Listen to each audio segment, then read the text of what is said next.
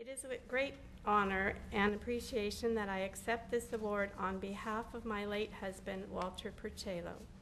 I'm sure if he were here, he would have been more than grateful and proud to receive this prestigious award. I would like to thank the Manitoba Golf Hall of Fame and Museum for selecting Walter for the recognition and induction into the Golf Hall of Fame. What a great tribute to Walter. I would like to thank Bob Ham, Executive Director of the Manitoba Golf Superintendents Association, for nominating Walter.